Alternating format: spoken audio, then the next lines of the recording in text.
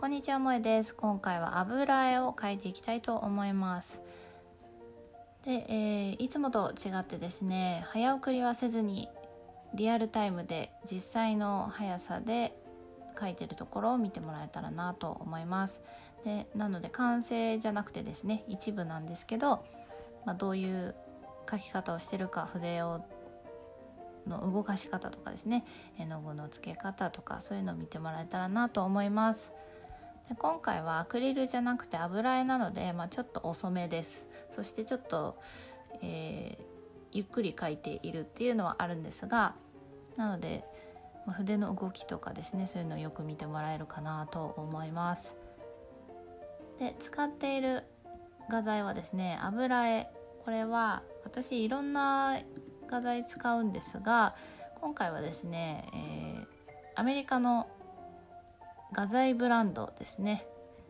えー、このご、えー、ブリックアートっていうやつを使っています、えー、このブリックアーティストって書いてあるんですけどこれブリックっていう、え画材屋さんのそこのねオリジナルブランドです。安いんですけど質は良くてですね私はよく使っています。はい、で、まあ、これはアメリカから買ってきたものなんですが、えー、アメリカのサイトでもですねインターナショナルシッピングやってるので買うこともできます。それも前にね買い方出してるので気になる人はちょっと、えー、チェックしてみてください、はい、で、えー、今描いてるのはお花花瓶に入ったお花なんですけど私はですねこの油絵描く時まあアクリルで描く時もほぼそうなんですけど同じ色のところをこう描き進めていっています。で油絵って結構描き方人によって違ってまああのアクリルもそうなんですけど油絵特にですねあのこういう風に同じ色のところだけ描いて全体を少しずつ進めていくパターンとあとはもうその一部この例えば私がもうマス目描いてるんですけどこのマス目ここをこの一部からどんどんどんどん広げていくように完成させてまた次のマス目描いてみたいな感じで少しずつ完成させていく完璧なもう最終的な絵をもう描いてしまってそれを広げていくパターンみたいなのもあります。なんですが、まあ、絵によって変えてもいいと思うのと、まあ、描きやすさによってですね変えていけばいいかなと思うんですけど今回はお花なので人の顔とかじゃないのでですね、まあ、あの時間の短縮のために同じ色のところをこうちょっとね埋めていっています。でアクリル絵の具と違って油絵の具ってこう水でさささっと洗えないのでもちろんブラシクリーナーとかそういうものですぐ洗えるんですけどそれもね結構めんどくさいのでだいたいこの同じような色のところを、えー、描いてでその筆はそのままにしておいて、えー、違う筆でですね違う色を使ってみたいな感じで描くことも多いです。なのでアクリルだと1本の筆で全部書き終えちゃうっていうのが多いかもしれないんですけど油絵の場合だとですね何本か私の場合もですね用意しておいて色によって分けて描いているって感じです。ただその時に例えばどうしても筆自分の使いたい筆この筆が1本しかないみたいな時は、まあ、仕方なく洗って違う色つけてっていう風にするんですけどそうじゃない時何本もねちゃんと予備がある時はですね色に分けて筆を使っています。なので結構油絵する人ってそんなにしょっちゅうしょっちゅう綺麗にあの筆を洗っているっていう感じイメージがないですね。まあもちろん終わったら書き終えたら洗わないとずっとそのまま放置しておくとメディウムとかを使っていた場合とか特にですね筆が固まってしまうので良くないので綺麗に、えー、その日書き終わったら綺麗にしておくっていうのがいいんですけどこの書いてる最中ですね。この例えば1日書いてたら朝から夕方まで書いてたら、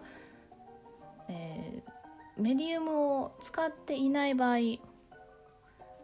の具だけの場合はですねもう全然洗わなくても夕方まで乾きません。なのでそのままね使ったりしてます。で最終的に一日終わったらですねもう今日は描かないってなったら綺麗に洗って乾かしておくみたいな感じですね。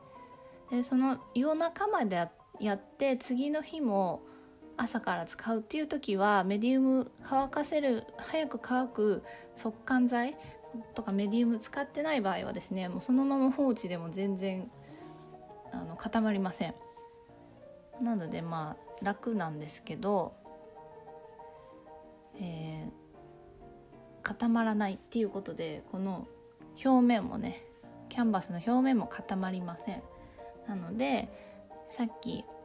描いていた緑色の部分ここも乾いてない状態で今上にですねこの、えー、葉っぱの筋をですね乗せていってます。なのでこれもグラデーションにですねここからしていってます。アクリル絵の具だと乾いてしまってグラデーションしようと思ったらもう一回塗り直してグラデーションにしなきゃいけないっていうことはあるんですけどその点はですね油絵の具はとてもグラデーションを作るのにはねすごく楽だと思います。ただ乾いてないというか乾くのが遅いのでグラデーションはしやすいんですけど塗った色が、えー、影響しやすいのでこう混ざりやすいのでですねその辺混ざるっていうことを気にしながら描かないといけないです。なのでちょっと白っぽくなるところは開けておくとかわざとね塗らないでおくとかですね。そういうブロックで描くみたいな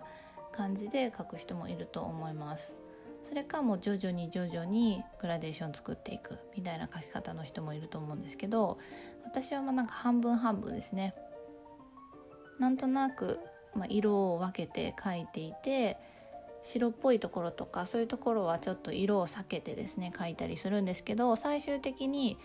乾かした後にですねもう一回白を塗ってハイライトを足すっていうのはやってます。あとは黒っぽい真っ黒のとことかも最終的に最後に足すとかちょっとコントラストを上げてパキッとさせるためとかピカピカしてるところを